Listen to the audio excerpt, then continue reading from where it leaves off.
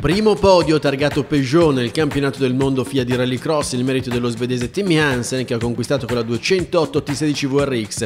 Il secondo posto nella sesta tappa stagionale disputata a Mette in Belgio. Grazie a questo risultato il team Peugeot Hansen occupa ora il terzo posto nella classifica del mondiale.